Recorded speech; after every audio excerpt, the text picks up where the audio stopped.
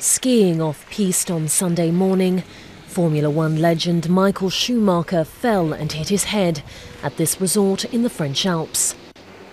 The 44 year old German was airlifted to a local hospital before being transferred to another facility for further examination.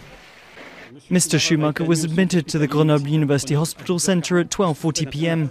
He suffered from severe cranial trauma and was in a coma when he arrived, which required neurosurgical intervention. He remains in a critical condition. Il reste dans une situation critique. The former motor racing world champion was with his teenaged son at the time of the accident. Specialist neurosurgeon Professor Gérard Saillant was flown in from Paris to oversee treatment.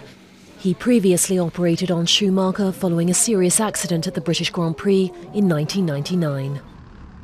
At the go kart centre in his hometown, where Schumacher first developed a passion for racing, locals were swift to react to the news. He drove throughout his whole career, which was high risk and everything went well, but now he's had a skiing accident. Bad luck, unfortunately.